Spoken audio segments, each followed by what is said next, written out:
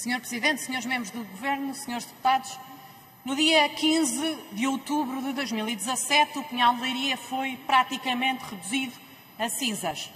E passaram mais três anos e, infelizmente, o Pinhal está praticamente como o fogo o deixou. É essa a convicção dos especialistas, é essa a convicção dos autarcas e é esse o sentimento das populações o sentimento de que o Pinhal foi deixado ao abandono.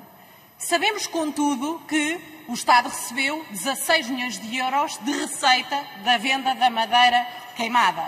E aquilo que nós queremos é tão simples como a garantia e a obrigação legal de que este dinheiro é integralmente utilizado no Pinhal de Leiria. 5 milhões de euros já no ano 2021 e, a bem da transparência, a criação de um portal onde seja pública a utilização de todas as verbas e o plano de recuperação da mata de leiria. E o apelo que eu faço é, se o Pinhal de Leiria é uma prioridade nacional para todos os partidos na Assembleia, juntem-se a esta proposta do PSD, em especial o Partido Socialista, viabilizando a garantia que o Pinhal de Leiria não é deixado ao abandono.